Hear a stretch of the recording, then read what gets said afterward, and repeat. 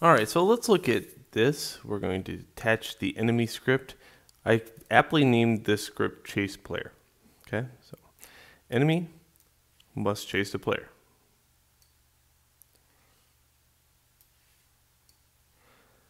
All right, now it's asking me for enemy, player, direction, speed, and observed. Well, I want to turn on observed because that's just how it is. It must be observed. Later on, we're going to trigger this with an if statement and leave observed on all the time.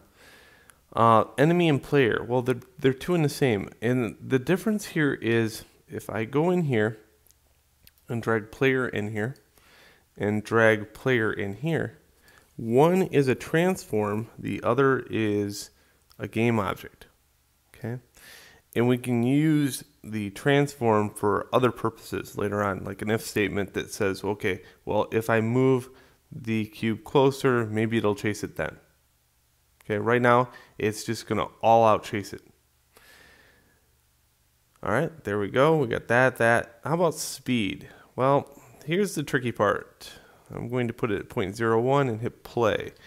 I'll file save this, hit play. Bam.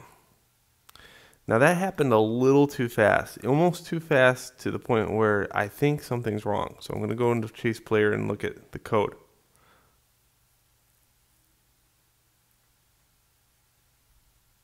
All right, right here. Direction equals player transform position equals transform position. Okay, it happens so fast is because they think they're the same part. So let's put that as minus because that way it sees the object and then calculates the distance between the two objects.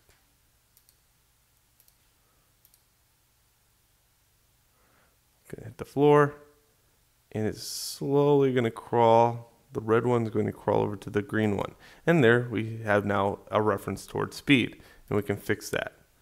So is the speed too slow? yes. It's zombie fast.